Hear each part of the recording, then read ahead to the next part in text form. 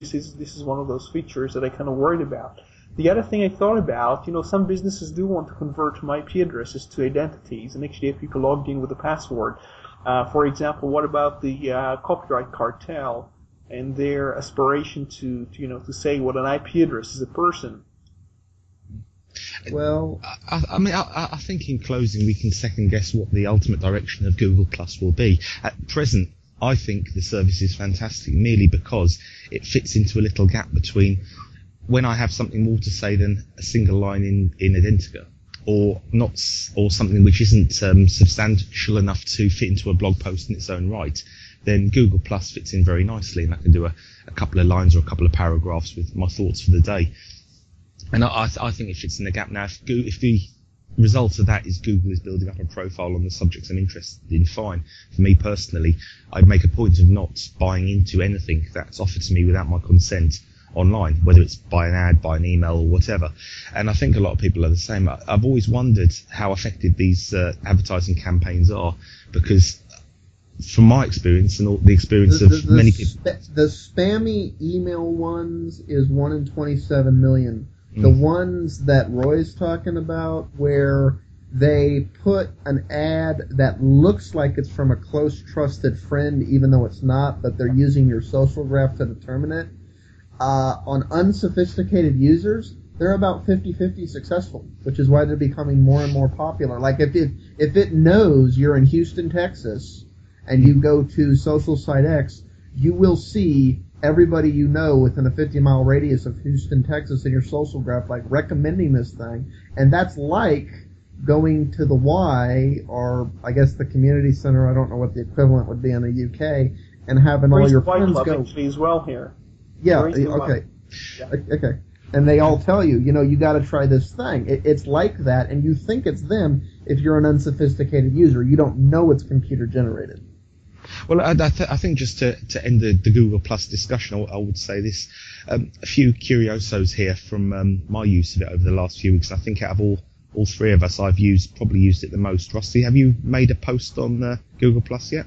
I, I, made a few. Um, I, I was actually going to start using it like you do, and I was going to tie it into the show It Sucks over here until mm. Tiny over here tried to go to Google Plus because I set up a, a gplus.to, and when he goes to it on his Android phone, it redirects to the .m version of Google, you know, the m.google version, the mobile version. Yep. And because it's not publicly accessible right now, it locks him out of everything, including the public posts. Yeah. Well, talking of which, um, this is one uh, area of a bit of confusion for me because you're probably going to gasp at this, but I find it a very useful feature.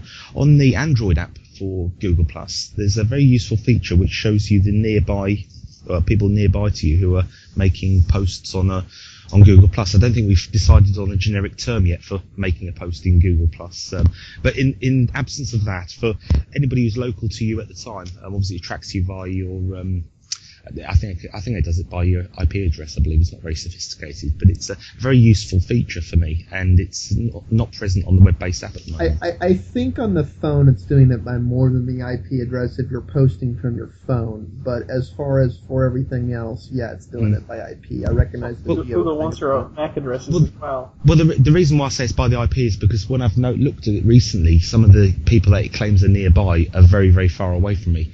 Um, but the IP is your yeah. I, yeah I, so, I've seen that a lot too. It is doing the IP geo coordinates right now, which can be as much as an hour away. mm. Yeah, I mean, in some cases it was it was something like 50 miles. I think was the, the furthest away, and uh, I've seen from the location when the when it posts my location on uh, Diaspora etc. That's it's never very accurate. I think the closest I've ever been is about a mile from my actual address.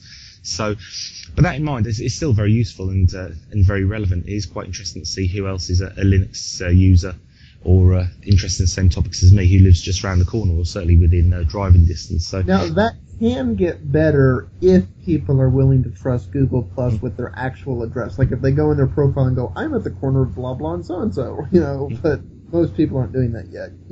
Uh, and also, I don't believe it has hashtags yet. Um, Diaspora is um, fully utilizing hashtags in very much the same way that Twitter and Identica do. Maybe uh, Google can do search very well, so they will omit all the necessary words and pick up the keywords. Well, not really. It has the Sparks, which searches sites, um, which I think is a bit of a naff feature. Google Sparks, where you can enter your, your words of interest, for example. And, and it doesn't really work well. No. Basically, unless it's a sponsored Spark, you're but not going to find anything. Here's but, that, uh, well, here's one that Roy will, I think, uh, have a little wry smile about on, on his end of the line today, and that's um, when it, one of my Sparks on Google Plus is FOSS, and uh, I think the top three, um, one of which is the site FOSS Patents, is uh, listed every uh, every time I click on my Sparks. So the uh, yeah.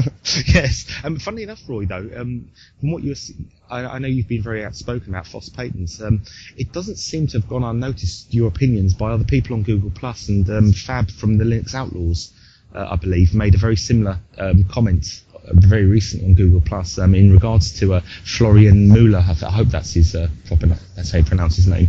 Um, so it, it, was quite. It was quite bizarre to see comments that you said maybe I think over a year ago to me um, echoed within Google Plus just recently. So uh, yes, but uh, sorry, moving on. Uh, Rusty, I interrupted you there.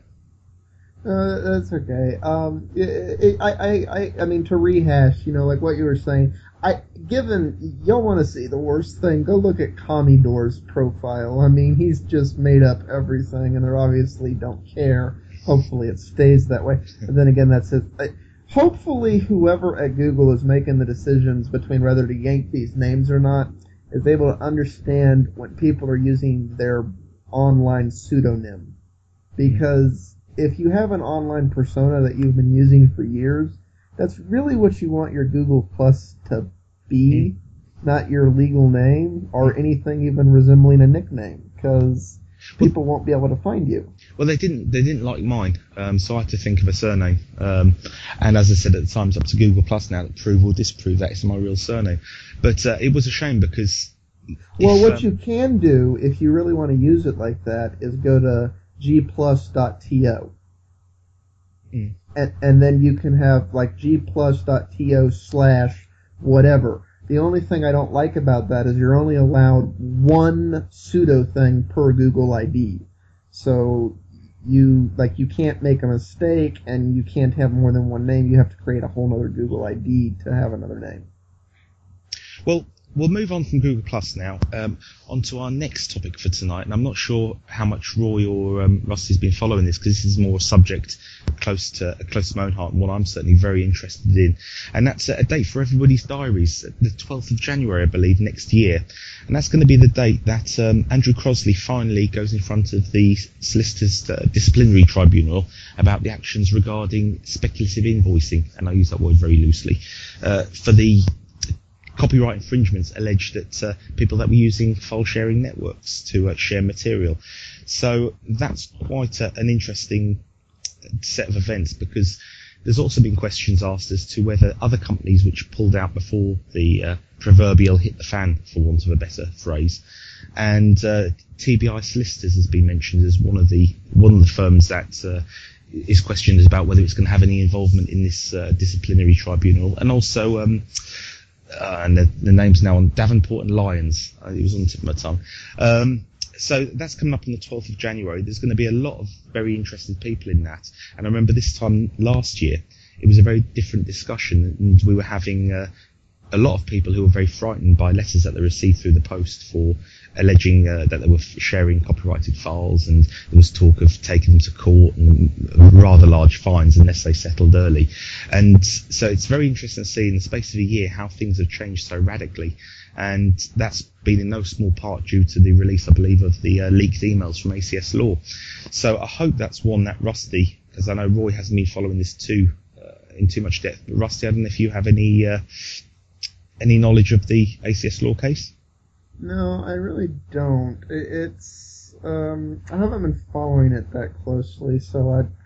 Uh, other than what you were saying, I can't really contribute on and it. I, have got, I've got beg your pardon actually. What's the uh, dispute about the fact that they were sending letters to people based on their IP addresses? Was it the actual practice of trying to invoice people speculate?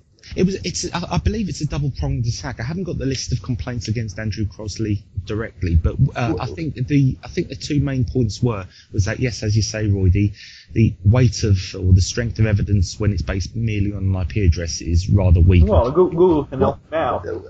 What, what I know about this, but I see I'd be going by U.S. law, not U.K. law, which are different mindsets. It it sounded to me when I heard about it that it was the equivalent of what copyright and